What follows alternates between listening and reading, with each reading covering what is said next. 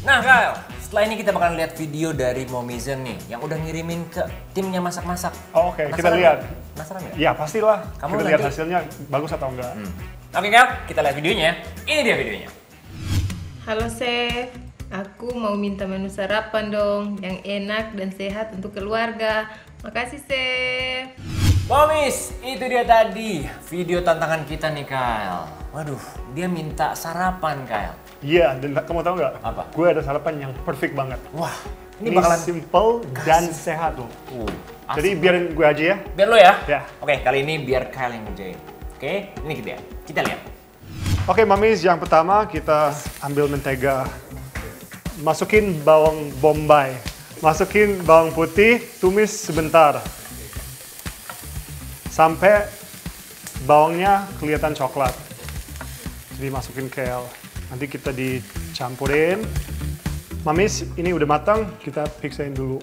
Buat sementara, lanjut sama bikin omelet. Sekarang kita mau bikin telurnya, jadi kita pecahkan telur.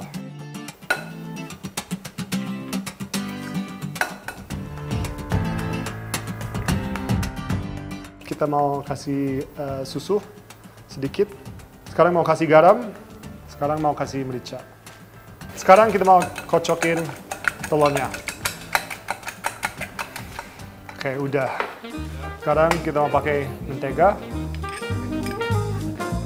Sekarang kita mau masukin telur di pan dan di scramble dikit biar bikin layer-layernya. Oke, jadi kita mau nah, masukin topping sekarang.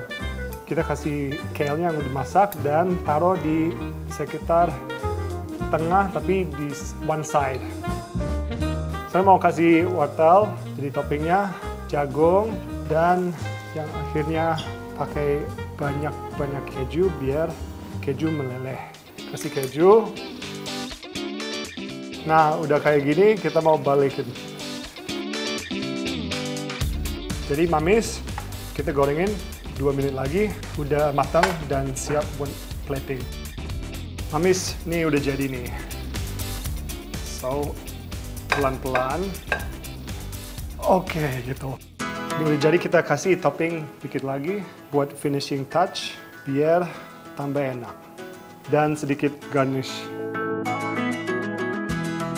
Ini dia mamis, omelet, I still love you. Momis, itu dia tadi resep-resep mudah dari kita berdua di sini ya. Bagus kan? Bagus banget dan mudah banget buat para momis buat di rumah nih. Jangan lupa untuk follow Instagramnya Masak-Masak Trans TV dan recook semua resepnya. Hmm? Kamu masih mau nggak masak di sini? Ya pastilah. Gampang. Emang udah kelar? Udah kelar. Jangan gitu dong. Tenang. Lanjut aja. Tenang, abis ini kita kita bakalan ajak lagi. Ya udah ajak lagi ya. Ajak lagi. Janji ya. Janji. Thanks chef. Lebih susah lagi resepnya bahkan ya. Oke, pokoknya jangan sampai ketinggalan. Nontonin terus masak-masak. It's so easy. Bye bye.